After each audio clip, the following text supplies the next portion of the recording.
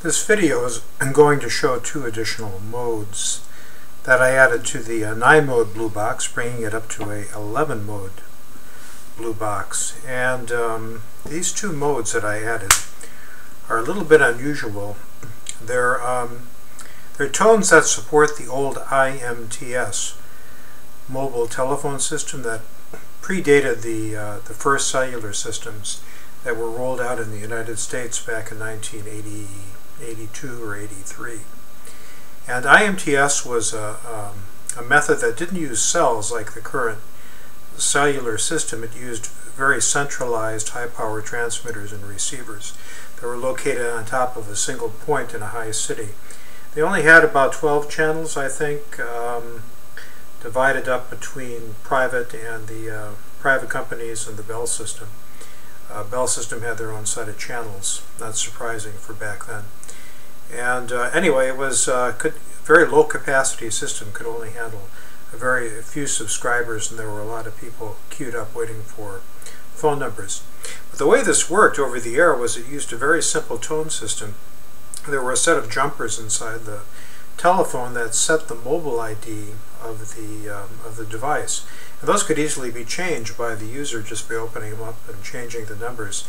In fact, when I worked for a uh, devel development lab that had done some work with these, back in the day we had uh, some special boxes that were set up with a set of thumb wheels that could actually change the mobile ID number on the fly.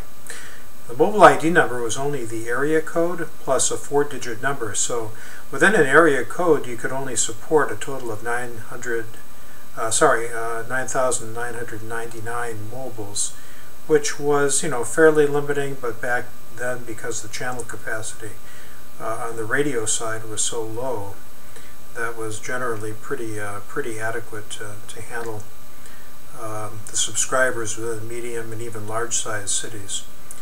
Um, there were some other schemes to get around that, but that's basically how it worked. So um, I've got two modes to support IMTS, and it could be freaked and it could be hacked by coupling a um, tone generator, like I'll demonstrate here, into the microphone input of a radio transmitter and receiver that were tuned to the frequency of the base station of the IMTS uh, radio receiver. And you could basically spoof uh, any any valid mobile number that you knew. So if you knew a guy's phone number, you knew you knew his mobile ID. It was the area code plus the last four digits. So let's take a look at that mode. So to get into that mode on the box, you press and hold the star key to enter into the IMTS, what I call the IMTS ANI mode, or the automatic number identification mode. This will allow you to generate and send a set of tones that will identify the mobile. And that the way that is encoded is different than the dial pulse digits were sent for actually dialing a number.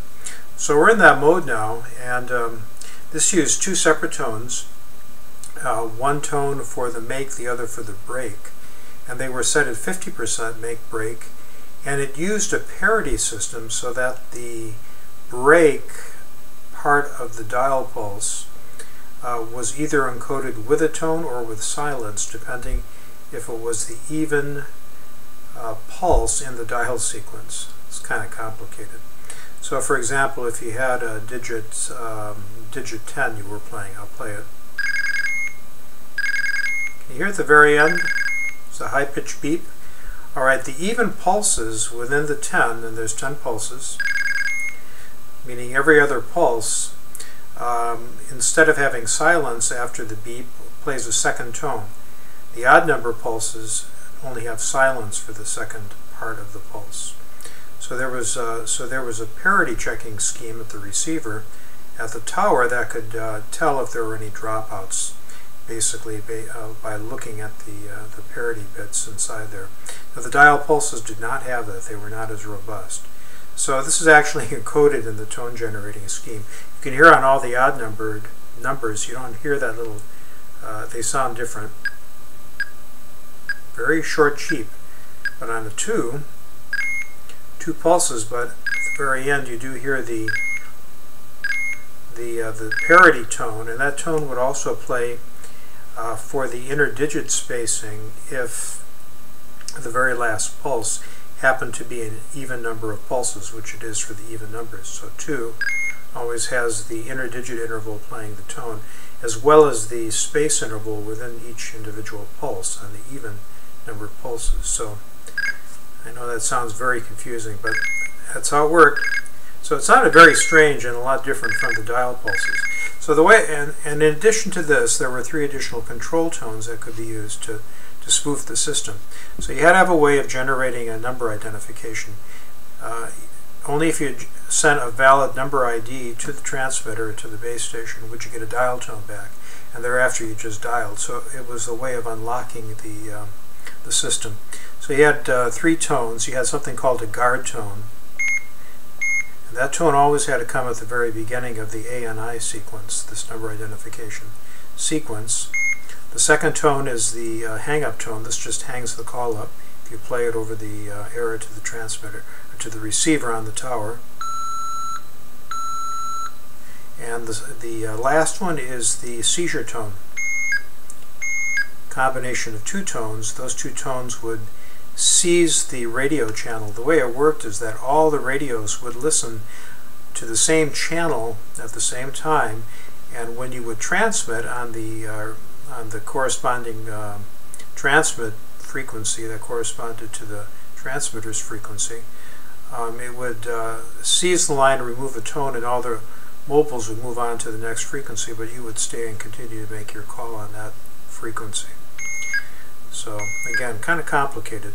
This would actually seize the line and allow you to seize the channel, and that would force every other mobile in the system to move on to the next one while you stayed on this channel to complete your call. So call setup and your conversation was done on that same channel.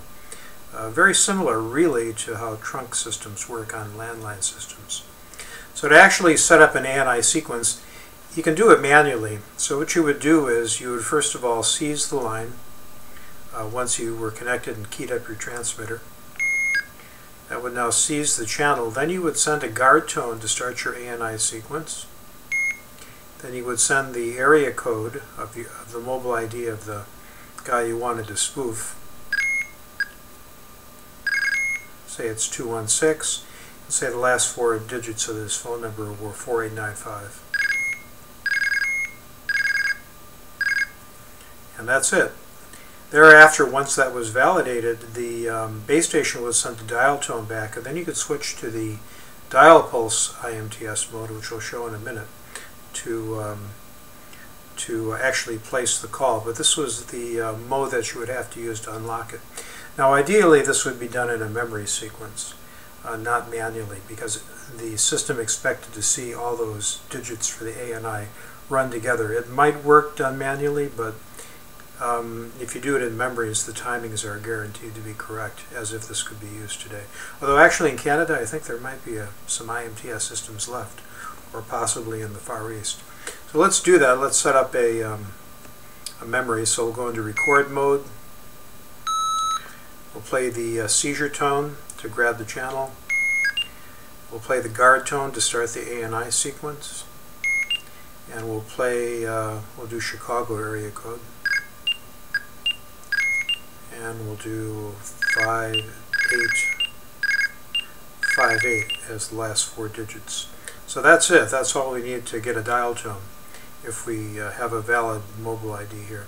So let's save this to memory 1. And that's pretty much all you need to unlock it. Now, uh, there's a second mode that's accessed by pressing the, um, the pound key. By pressing that, we're going to IMTS dial pulse mode. We have the same control codes available, although the only one really useful here is probably the, the hang-up code. But we have the guard, which you don't need for dial pulses really, but it's here. You've got the, uh, the hang-up to disconnect the call, and you've got the uh, seizure tone. And these sound pretty much like a regular 2600 dial pulse mode on the box or the AC1 or AC9 modes, except instead of silence on the break portion of the uh, make break, you've got a second tone present. So uh, it sounds a bit busier than a regular uh, regular AC dial pulse uh, trunk system for landlines.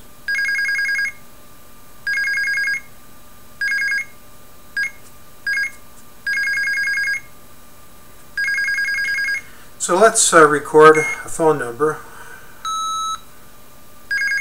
Six, um, three, zero, four, eight, five, two, nine, nine, five, and we'll save that to memory two. Alright, that was done in our IMTS dial pulse mode as opposed to the star which gets us into the IMTS uh, ANI mode. So now we'll go into memory playback.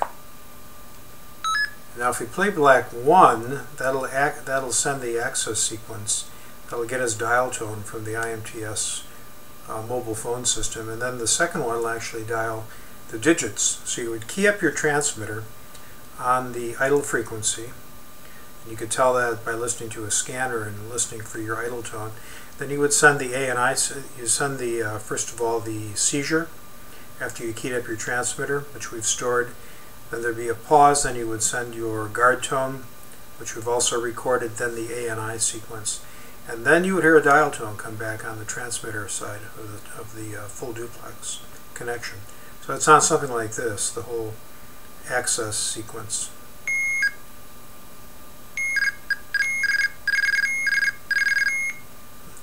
Do it again. We've got the seizure, followed by the guard tone, followed by the ANI sequence.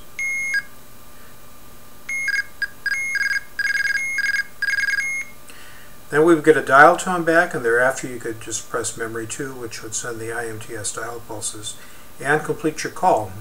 And if you dialed an 800 number, you could switch to blue box mode and then blue box it over the air, which apparently was done, according to some old files I've seen. So you can hear that sounds different from the ANI.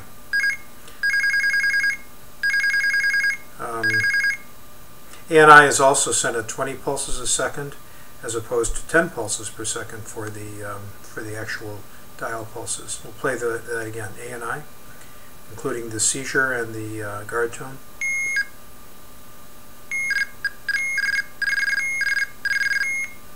And the uh, dial pulse slower, half, half, half the speed of the ANI.